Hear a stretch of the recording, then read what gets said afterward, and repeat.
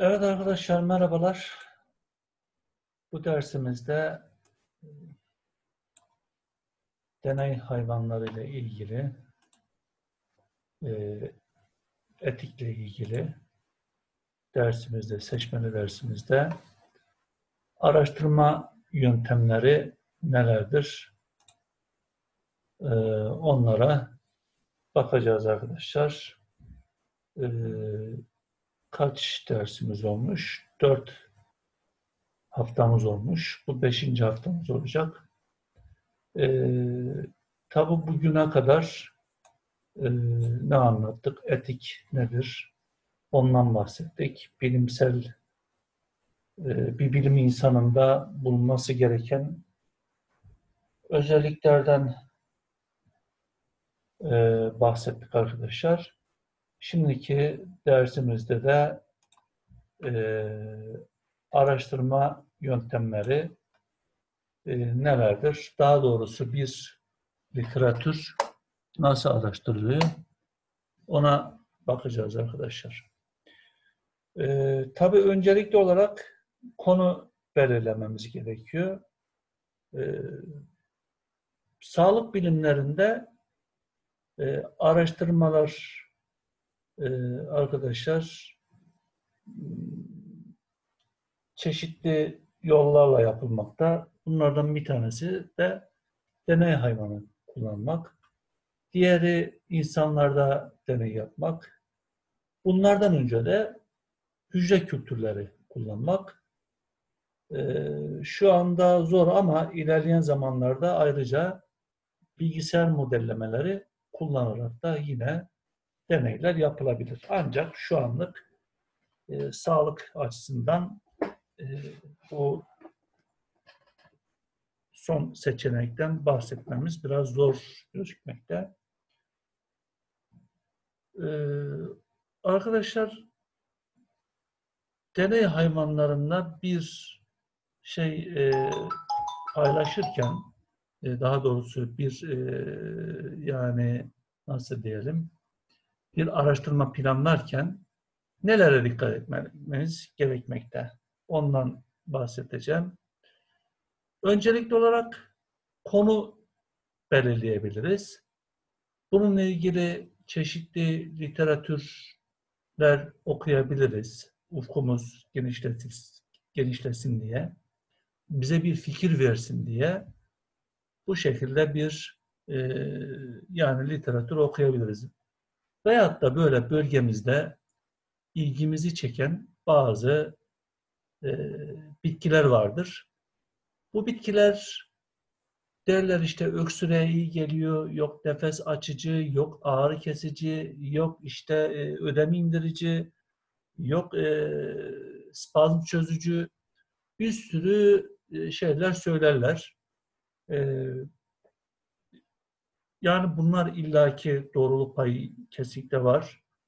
Ancak bunları bir bilim insanının araştırması gerekiyor. Nasıl araştırması gerekiyor? Bilim insanı işte denedim, hakikaten ağrıya iyi geldi veyahut da ödemi indirdi, inflamasyona iyi geldi veyahut da ne diyelim işte astıma, öksürüğe iyi geldi dememiz yetmiyor. Buna ilaveten, buna ilaveten bunu yapıyorsa bir mekanizma ortaya koymamız lazım. Hangi mekanizmalarda bunu yapıyor? Hangi mekanizmalar rol oynuyor? Bunları ortaya koymamız lazım. Öksürüğe iyi geliyor. Yani astıma iyi geliyor. Ne yapıyor? Bunun için akciğerin bir defa fizyolojisini biliyoruz zaten nasıl öksürüktedir aslında bir reflekstir. Nedir bu? Ya demek ki bronşları genişletiyor bu ilaç. Ha, bronşları nasıl genişletiriz? Şimdi onunla ilgili bir literatür taraması yapalım arkadaşlar. Bunu daha önce geçen haftaki derste anlattım sanırım. Bunlara yine tekrar bahsedeyim. Ee, önceden internet yokken kütüphanelerden gidiliyordu. Süreli yayınlar vardı. Ayda bir kere çıkan, iki ayda bir, altı ayda bir kere çıkan. oralardaki literatürlerden bakabiliyor idik. Ama şimdi her şey artık elimizin altında. Burada eee, en çok baktığımız PubMed denilen bir eee, işte arama motorumuz var. Aynı Google gibi. Tabi bunun haricinde Google Scholar da var. Google Scholar'dan da e, aratabiliriz. Ancak bizim en çok kullandığımız PubMed. PubMed'in hem kullanımı kolay hem de tam spesifik olarak ne yapıyor bu bize bir fikir verebiliyor arkadaşlar. Ne yapacağız şimdi arkadaşlar? Öncelikli olarak o bitkimizin ismine bakacağız. Nedir bitkimiz? Ne söylediler arkadaşlar? Ee, ayva yaprağı değil mi? Ayva yaprağı. Hemen ayva yaprağının e, latincesine bakalım arkadaşlar. Yaprağı ı, latincesi.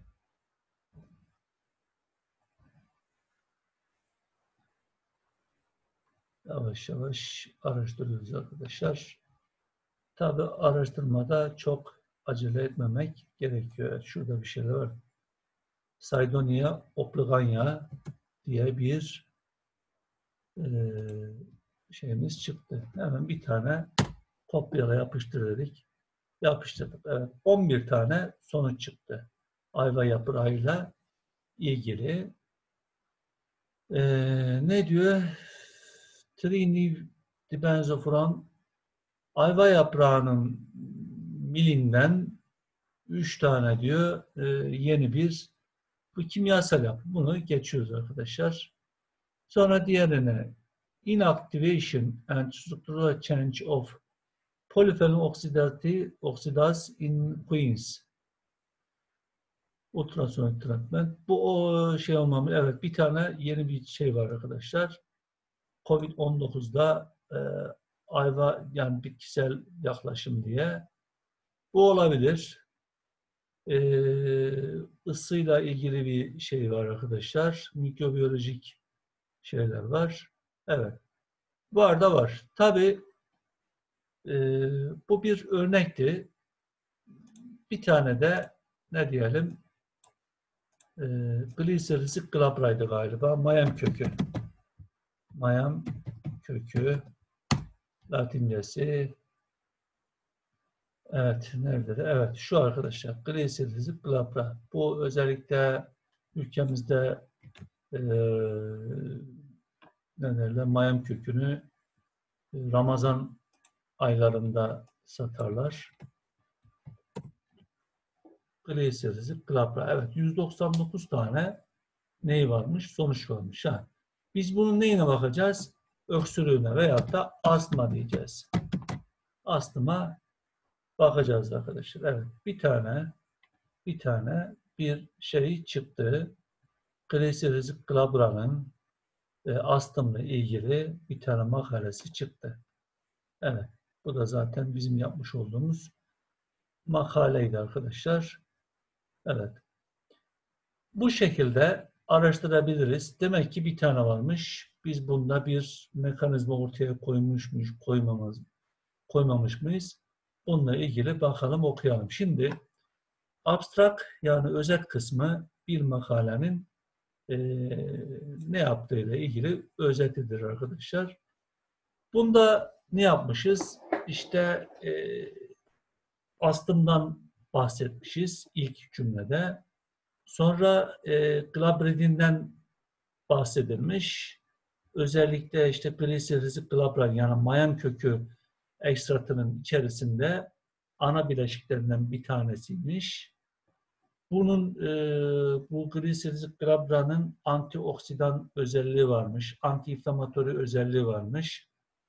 E, fakat glabridinin e, glabridinin antiasmatik özelliği hala keşfedilmemiş durumda ve amacı koymuş. Nedir bu? Hmm, Glabride'nin antiasmatik özelliğini e, ve varsa olası mekanizmalarını ortaya koymakmış. Neydi? Mayıs'ta farede e, oval biminle imliklenmiş e, hava yolu aşırı hiper responsivitesi dediğimiz yani astımla ilgili bir mekanizma yani mekanizmasını ortaya koymakmış. Bu bağlamda ne yapmışız? Intraperitoneal ovalbumin verilmiş alüminyum hidroksitle birlikte 0 ile 14. günde daha sonra 21, 22 ve 23. günlerde o albümün aerosol yolla verilmeye devam edilmiş. Ee, grubun bir tanesine dexametazon verilmiş. Diğer gruba glabridinin 3 dozu verilmiş. Neden 3 dozu verilmiş arkadaşlar? Çünkü bununla ilgili yapılan daha önce bir çalışma olmadığı için bir maddenin en azından 3 dozunun verilmesi, 3 dozunun uygulaması gerekiyor. Tek doz olduğu zaman e, yani etkili midir, değil midir, toksik etkisi var mıdır, yok mudur bu bilinemediği için mutlak surette 3 doz yani 3 tane ayrı ayrı grup yapılmış. Bu ilaçlar aynı zamanda 18'e 23. günde e, verilmiş ve e, akciğer fonksiyonel parametreleri e, ölçülmüş. Nelerdir bunlar? İnspirasyon akışı, pik espirasyon akışı, tidal volümü, ekspiratör volümü, e, frekansı, nefes alıp veriş frekansı ve enhanced pause dediğimiz işte o bir duraksama anı var. Onu e, tam vücut plastomografisi kullanarak bunlar ölçülmüş. Ayrıca ayrıca ha bunlar tabi e, metakolin verilerek ölçülmüş arkadaşlar. Metakolin neydi? Metakolin bir e, asetilkolinin bir türeviydi. Niçin veriliyordu bu? E, metakolinin işte astımı kötüleştirici etkisi vardı. Astımlı olan kişilerde ama astımlısı olmayanlarda herhangi bir şey yapmıyor idi. Daha sonunda hayvanlar itlaf edildikten sonra bronşi alveoller lava sıvısı alınmış, serumu alınmış. Ee, bunlardaki bazı kan, white blood cell e, nedir? İşte beyaz kan hücrelerinin sayımı yapılmış. Ve sonra da sonuç yazılmış arkadaşlar. Burada glabridinin 10 mg kilogram etkisizken 20 ile 30 mg kilogramı etkiliymiş, onu bulmuşlar. Daha sonra nötrofil, lenfosit, monosit, eozinofil bakılmış. Total protein ölçülmüş. Ee, evet. Sonra ne olmuş? İmmünoglobulin E ölçülmüş arkadaşlar.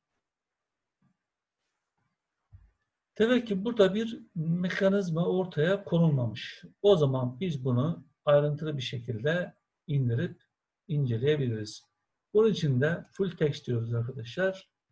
Buradan bizi ücretli olduğu için ücrete yönlendiriyor. Ancak okuldan bağlandığımız zaman okulla e, okuldaki bizim kütüphane ile yani okulumuz ile bu e, Elsevier'in anlaşması var. Yani Elsevier yayın e, ne diyelim basım şeyler arkadaşlar kitap evi.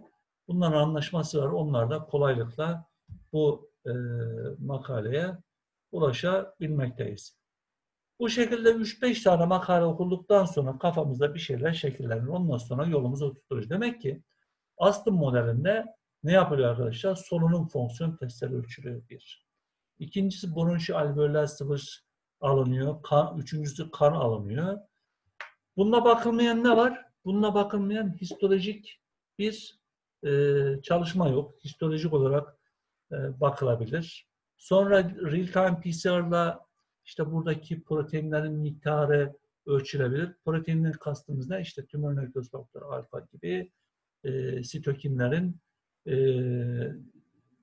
proteinlerine bakılıp onların tayini yapılabilir. İşte e, sitokinler yani tümör nekroz faktörü alfa veya interleukin gibi sitokinler ne zaman artar arkadaşlar? Bir inflamasyonda artar. Glabridin verdiğimiz zaman ne olması lazım? İnflamasyonun az olması lazım.